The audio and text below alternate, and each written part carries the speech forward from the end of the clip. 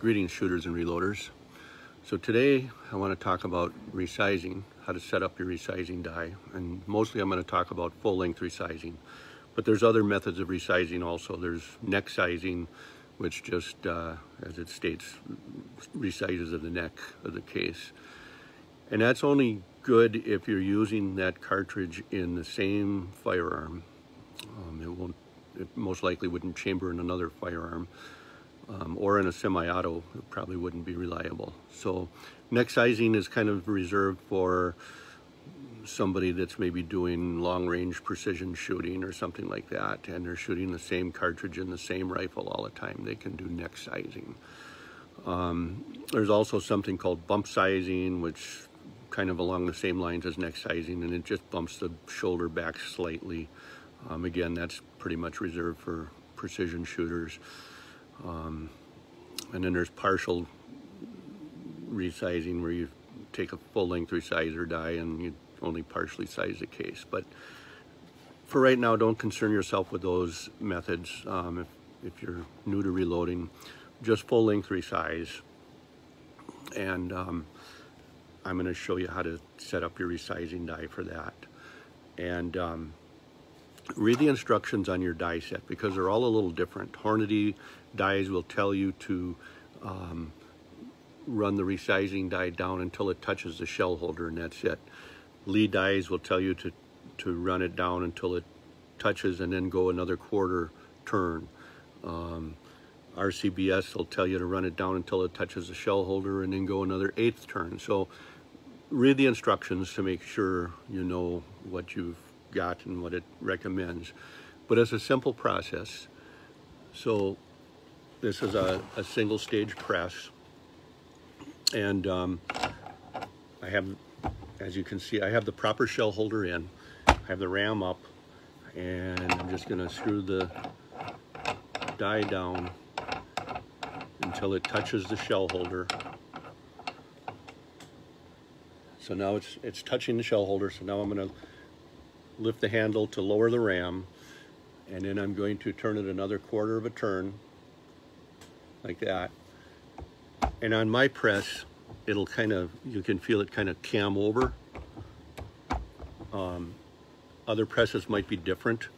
Um, I'm not familiar with those um, but a lot of the single stage presses like this will they have a cam over feel and, and that just tells you that it's it's it's going as far as it can go the next thing you're going to do then is you're going to need to lube your your cases. Now I have a, this is kind of an old-fashioned method that I like to do, but it works for me.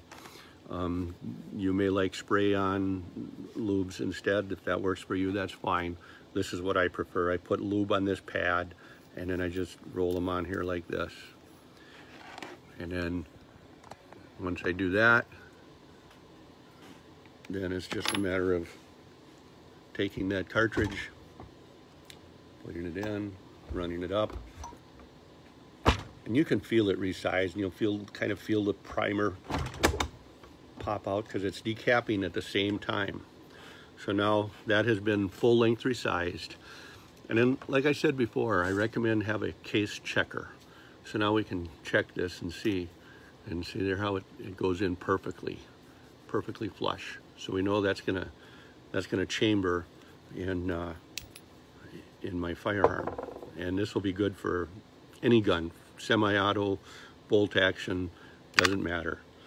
Um, so it's a pretty easy process. And what I do is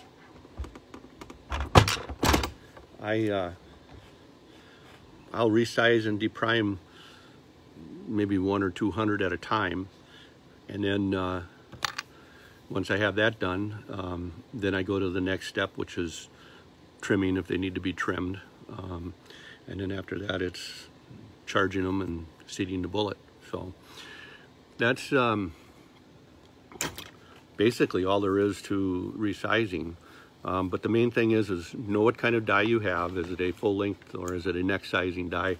Um, some some die kits like this, this is a Lee they call it their, um, what do they call it? I think it's called the uh, Ultimate.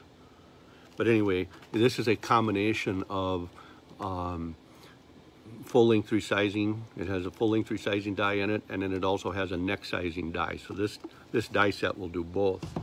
Um, here's another one from Lee. This is for 7 by 57 Mauser, and this is just a neck sizing die only.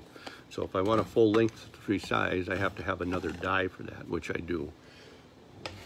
And then here's a, an old Pacific, and um, that's a full length die set. And read the read your instructions, like I said, because for instance, Pacific tells you to run the die down until it touches the shell holder and then lock it in place, and that's it. Hornady will tell you, or um, not Hornady, but um, RCBS will tell you to run it down until it touches the shell holder and then screw it down another uh, quarter turn.